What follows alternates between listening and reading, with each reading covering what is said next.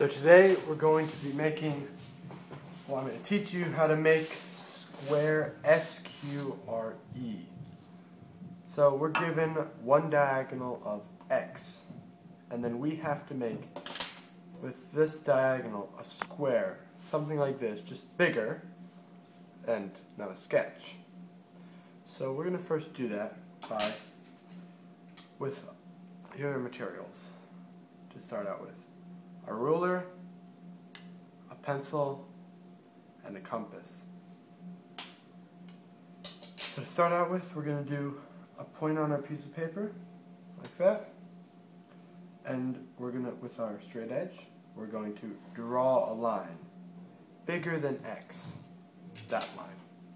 Then with our compass, we're going to measure it. To do that, you just put your compass down, then bring it over to there, and it's measured. Then we're going to put it on the point there, and push up and down till we get another point. This is now the length of x. Okay, so now we have this diagonal completed. Now we have to do the other diagonal. Start out with that.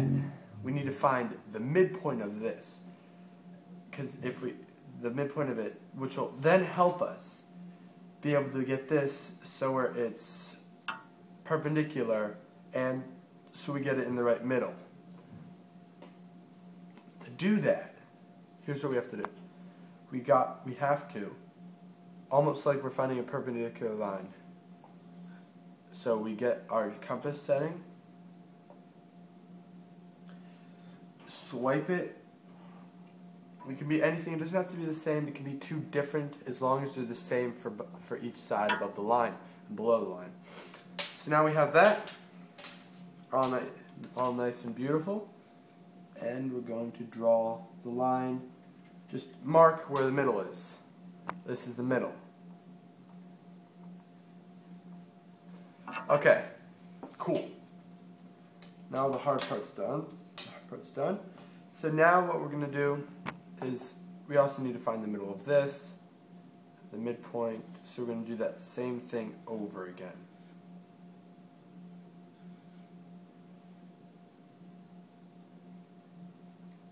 Okay, oops.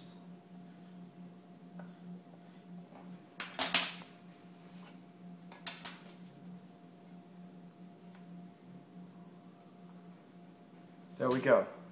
Now let's measure to make sure these middles are the same, these mid segments.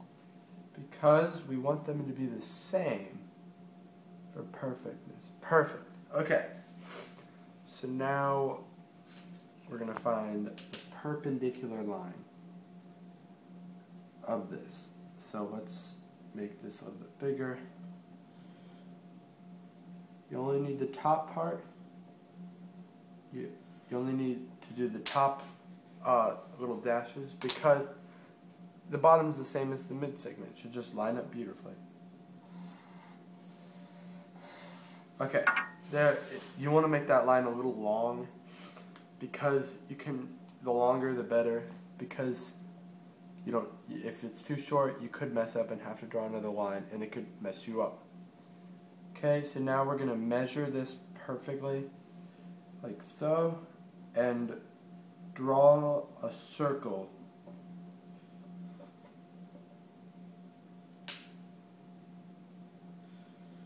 around it.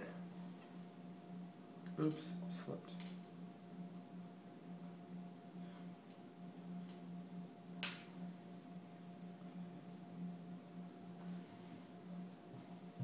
Okay. With that circle, let's just measure all these up. Okay, so now we have our two diagonals right here at perfect points. So now the fun part. Two perfect points. So now we get to easy connect the dots with a straight edge.